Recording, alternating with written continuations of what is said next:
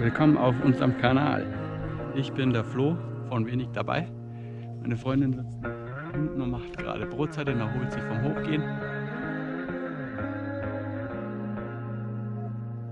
Wir schlafen heute hier auf dem Berg und hoffen, dass wir eine klare Sternennacht bekommen.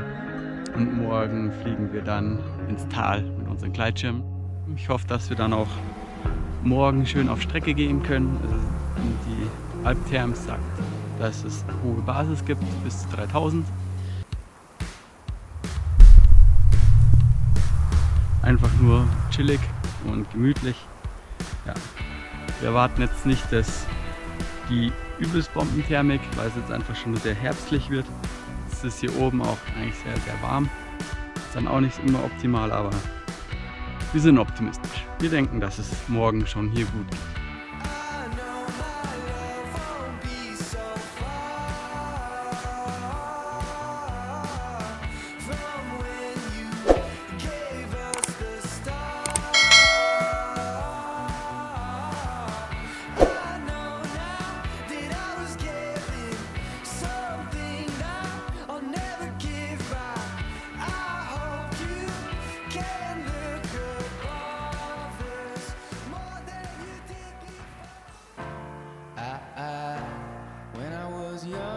Hier ist doch ein schöner Platz zum Schlafen.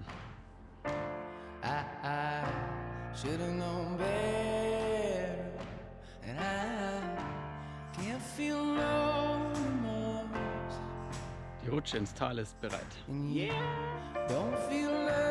haben jetzt eigentlich gar nicht so viel dabei. Nur eine kleine Thermarestmatte und eine Schutzfolie für die Nässe unten.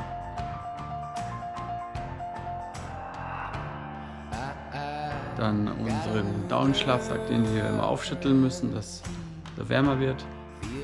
Und zur Not packen wir dann einfach noch die Gleitschirme nachts oben drüber als Isolation. Wir hoffen, dass es warm genug ist und dass wir dann morgen fit sind für einen kleinen Streckenflug.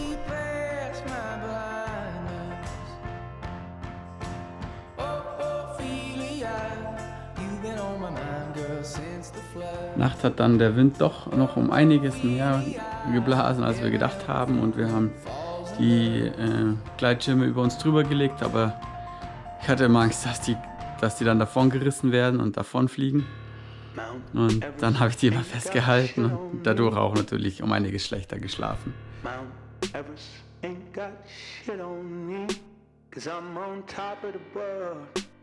I'm on top of the world.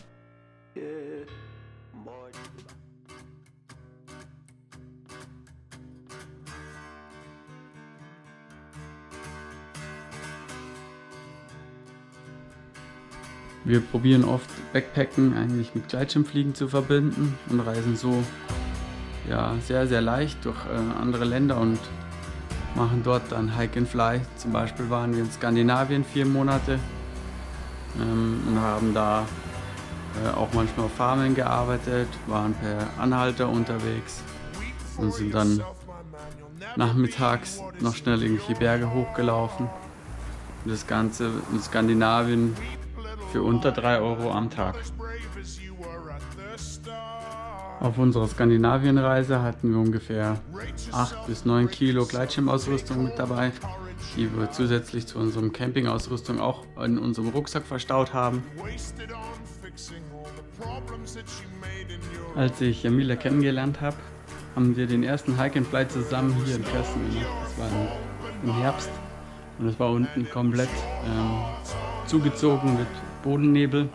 Und wir sind das erste Mal zusammen den Berg, genau diesen Berg hochgelaufen und ähm, waren total begeistert von der Aussicht und ja, zusammen was machen. Allgemein ist es immer zu zweit schöner.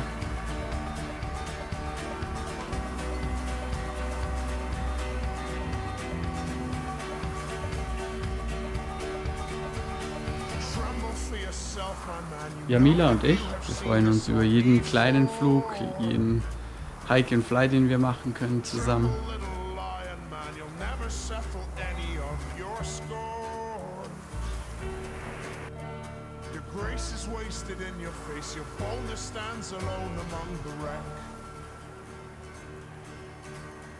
Now learn from your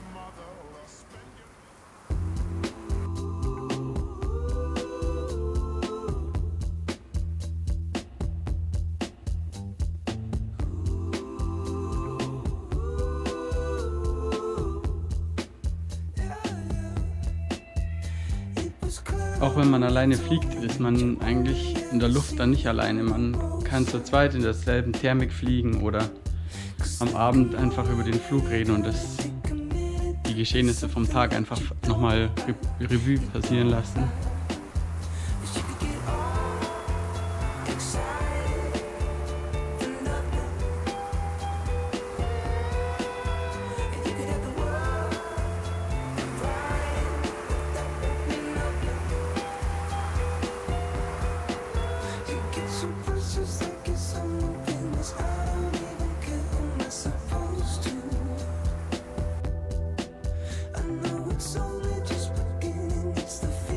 Das Schöne am, am Paragliding ist, dass man so intensiv mit, dem, mit der Sportart sich beschäftigt, dass man alles außenrum vergisst.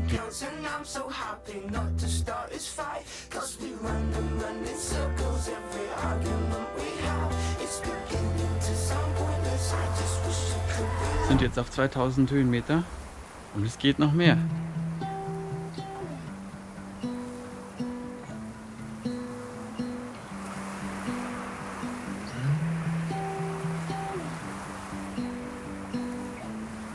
Und man merkt richtig, wie der, der Geist sich schärft, um die Natur halt noch besser zu erleben, einzutauchen in, in, die, in, die, in den Wind allein schon. Wie man den dann spürt und wie man damit über die Berge gleitet und wie er einen anhebt und nach oben zieht. Heute ist die Basis leider nicht ganz so hoch wie geplant und deswegen wird der Talsprung auf die andere Seite noch ein bisschen schwieriger, weil man dann auf der anderen Seite einfach sehr tief ankommt. Und wenn man tief ankommt, dann ist das Problem, dass man die Thermik nicht so leicht findet oder sie, der Einstieg ist viel, viel schwerer. Und dazu kommt auch noch äh, der bayerische Wind, der kann von der falschen Seite über den Berg drüber blasen und mich dann runterschwappen. Aber das wird sich jetzt gleich herausstellen, ob das so ist oder nicht.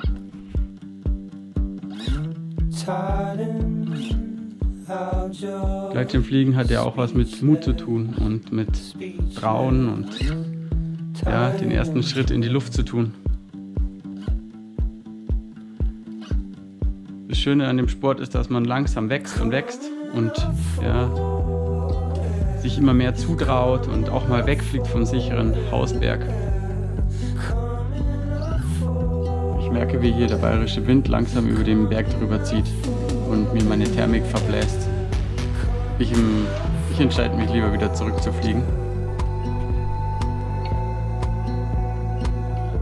Zu Hause saß dann die Familie im Garten und hat schon Lagerfeuer gemacht. Und wir kamen oberglücklich von, von dem Flug, von dem Abenteuertag wieder zurück und haben natürlich unsere Geschichten wieder erzählt. Und war einfach schön, wenn jemand zu Hause ist und der auf einen wartet und sich freut, dass es einem gut geht.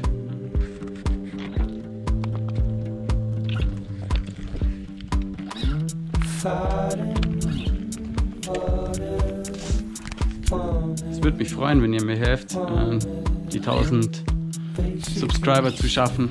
Es ist, als ob der Google-Algorithmus einen hassen würde.